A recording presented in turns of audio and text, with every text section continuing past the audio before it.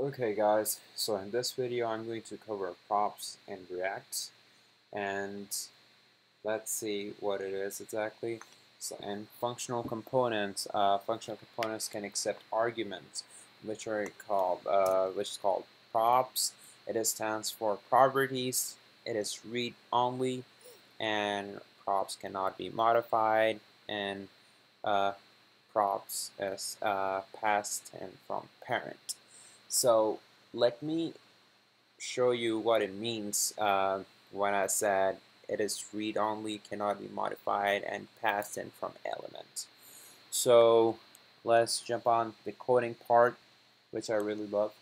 And uh, right now it's just basic Hello World app I made in a couple of videos. And um, let me just delete everything.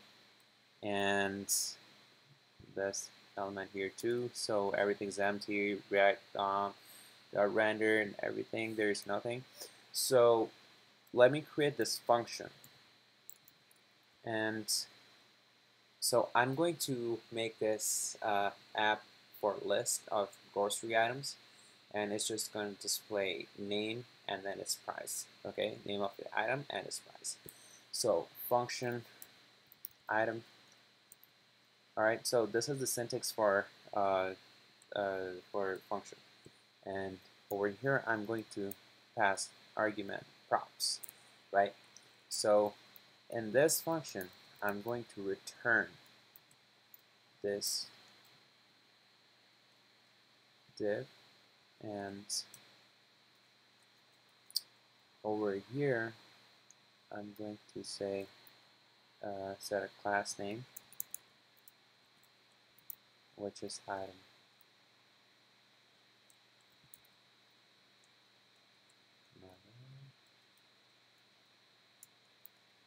Alright, and then I'm going to display name and then props dot name.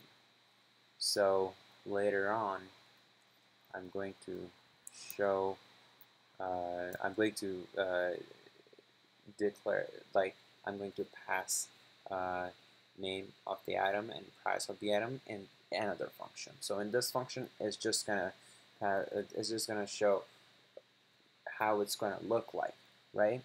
So dollar and then props dot price. All right, there should be a semicolon, and then I got the function for the item. So now let me create the main function, which is pretty much going, to be a heart uh, for the app. Let's call it grocery app, right? And then there's, there's also like basic syntax for the function return.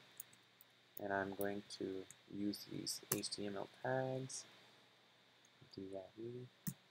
and then I'm going to use this function name over here. And then I'm just going to use this uh, element variable whatever you kind of call it props.name so I'm going I'm, I'm accessing it and I'm going to say milk. Alright? And I just have to say price is equal to uh, 499 all right and here item name is uh, ads price uh, three nine nine. Alright.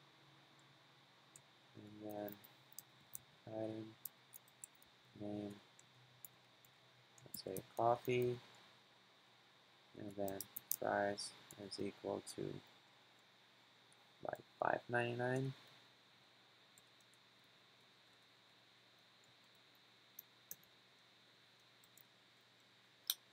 Alright, so I got this uh, items done. So uh, I have initialized it with names and prices.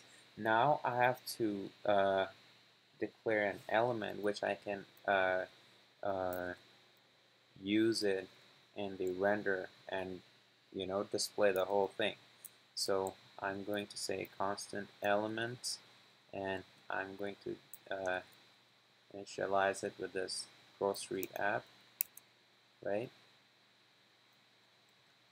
And now I just have to mention or declare it over here. So let me save it. Alright, so all the prizes and names are displayed, but I'm not happy how it looks like.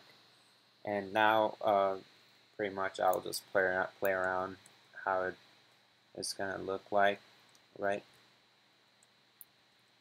And I just bolded the prize and these things, and I need a little bit, you know, how it how it's mixed, uh, milk and price. So I'm just creating a breaker here. All right.